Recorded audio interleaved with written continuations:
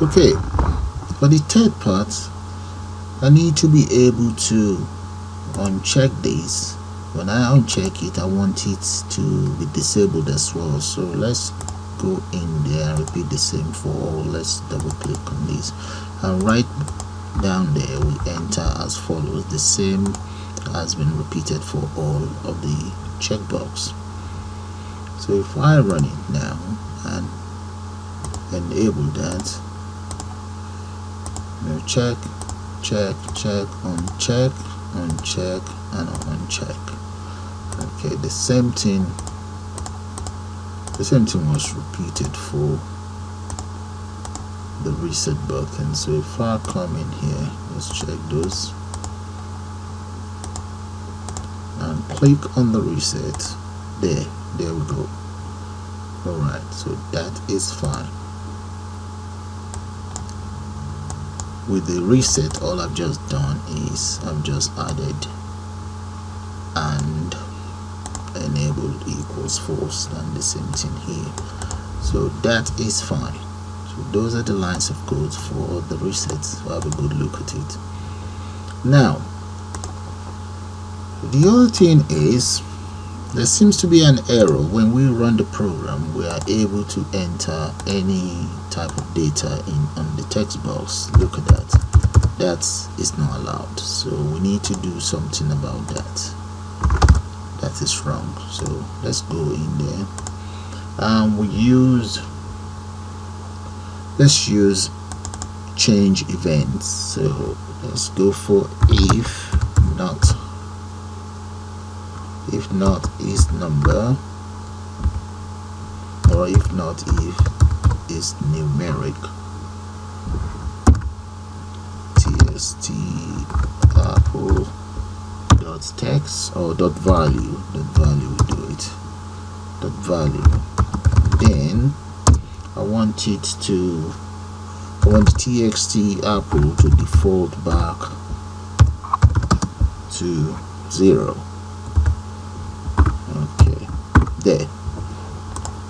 So let's try this out. End if let's end if first.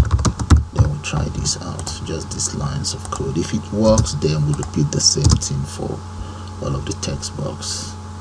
So let me copy it before trying it out. Copy. Then run it. So enable apple enter data in there.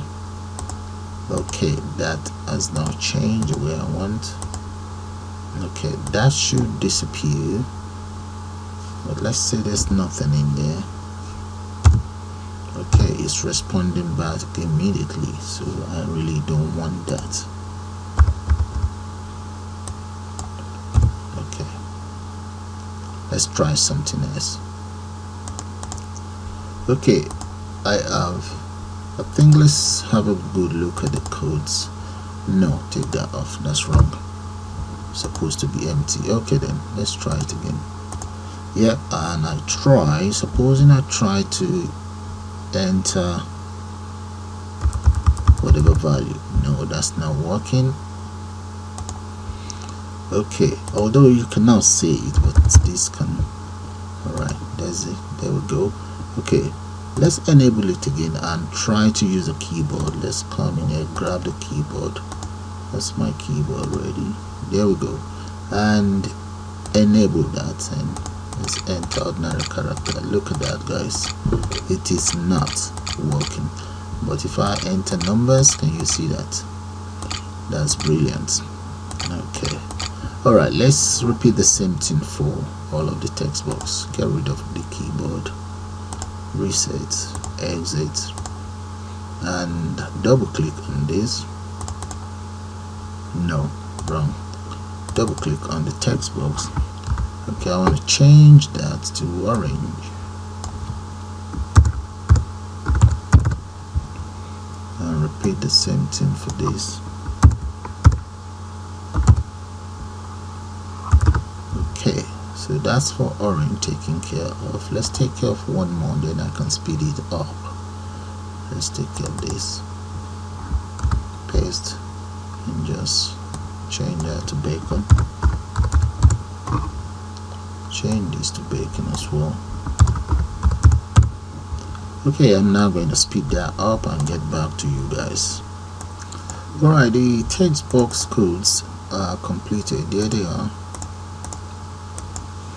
And all that we need to do now since all of this is completed is to work on the calculations okay so let's try out the calculation now.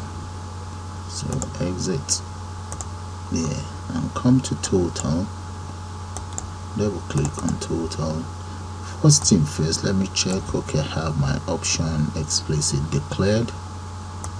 And also I've also declared an array but that's supposed to be 0 to 30 and let's see how many of those items I have think I have about 22 of those so that's fine 30 is okay. So we have 0 to 30 right there take it out up yeah that's it. So let's come right inside the total. So we double click on the total itself right there so I'm going to call the array. So let's say item cost 0 equals um, I'm to go for by value just if that text box is empty. So txt apple dot text. And I will now make up the price. Let's say apple is one pound fifty. There that is for the apple.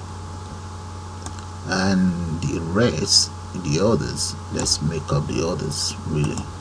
So double click on that. I think we also have we have orange and so on double click on. Let's come down here. Just need to make that up. Say we have orange.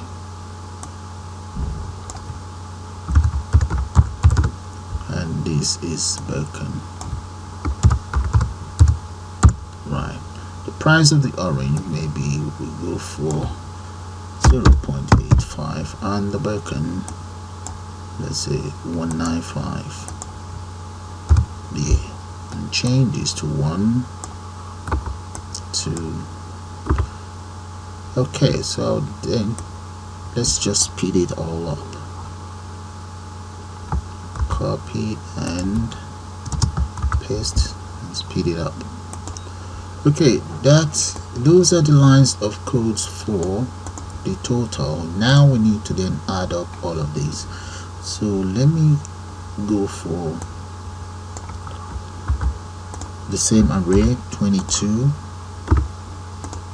so it's 22 array 22 so let's say equals all of this. Let's add them all up now. That'll be 0 plus 1 plus 2 plus 3 plus array number 4 plus array number 5 right so that's for that. So we're going to need yeah let's go for plus array number 6 as well. Since you guys can see that. Alright that is fine. Just will copy this. So I can speed up the whole process and paste that in there and that in there. Then this is array 23 so that's 7 8 9 10 11 12 13 okay we have 20 there and this one will be 24 so since we have up to 21 so let's come in here and just enter another one so that's going to be that we pull up all of the totals so let's say array 25 equals array 21 plus array 22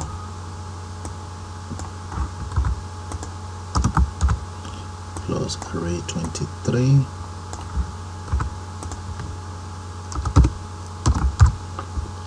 and plus array 24 there. Okay that's fine. So what will happen is we can then say I think it's txt tags dot tags equals array 25 okay? Just want to use that to try it out and make sure it works right. So let's come in here run it and grab anything. Just click on that and there okay? So let's work out the tags subtotal and total now. Save that first. Now come straight inside the total. Double click on total. So right in here so let's divide the tax let's say tax divided by 100 that should give us the tax we actually need to multiply this by the tax rate. So let's look for the tax rate. Scroll right up. There we go. That's the tax rate. We don't copy that. Let's bring it down here. So let's say tax rate equals 0 point let's say 7 5 so this will become this multiply copy all of this multiply this by this. Let's open and close the bracket there. So that will give us the tax. Yeah. That will give us the tax. Alright so we know the tax now what about subtotal? The subtotal equals we can we can copy all of this let's paste this in a bracket and just add we can add this straight away onto it that will give us that. And this oh no that's total. That is for total. Okay yes copy all of these then. Paste this there. Get rid of this that's total. And subtotal yeah that is correct. So if I run it let's enable anything and enter something in there click on that you see that. So we now need to then convert it to give us the pound sign. Let's come back in here double click on total and scroll right down. There we go. Convert it all to pound sign. So let's go for tax right here that in there equals let's say format. Format tax comma and let's enter the pound sign and hash key hash hash let me say 0 0.00 and close that up there. That should give me the pound I'm going to copy that so that I can convert that to total. Total right here. And we want this one to be the subtotal.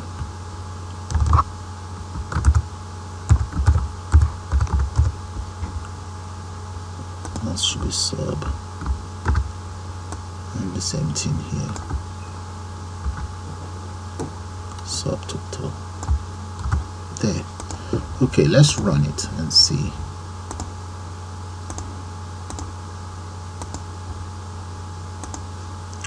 Enter value in there. And then click on that. There we go guys. You see that? Yeah we're almost done. So all I just need to do now is come back in here double click on total. You see those price? I just need to modify those price. So let's modify them individually. So we can just put two here maybe two here as well. One here.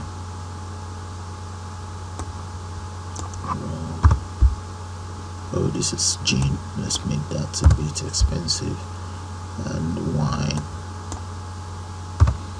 okay let's speed that up.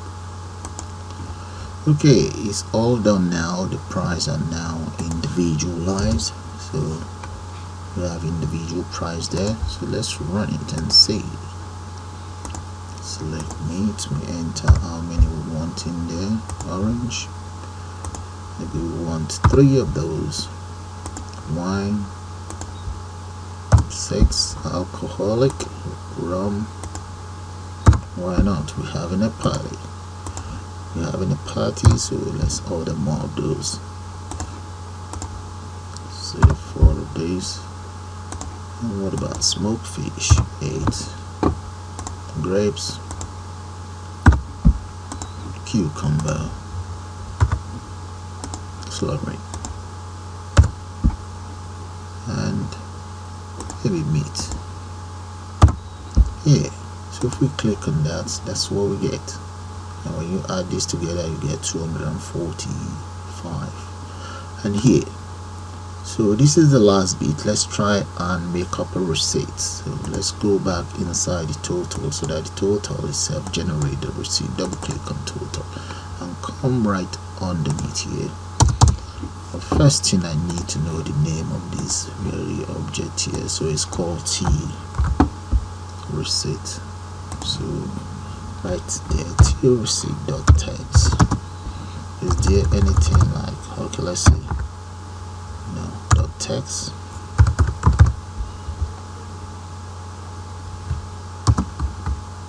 equals. And right there those are the lines of code for the receipt let's take it up so that you see all of the total as it's bring it down alright so let's run this program now. Run and we select maybe orange five of those grapes. Eight of those tomato. Let's maybe populate it a little bit more. Apple.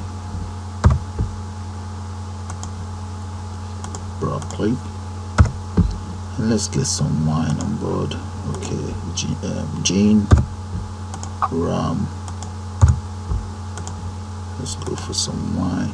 We make that 10 alcoholic we need a bag of rice and meat. We need a couple of those. Let's go for five and meatballs. Let's say about three. Bacon maybe three as well what about a bag of beans. Let's get one of those on board cheese. Yeah. There. So all you just need to do now is click on total and there and that is your receipt. Okay guys with that i'm gonna call it the end of this tutorial. I suppose you all enjoy it. You all have a nice day now. And bye for now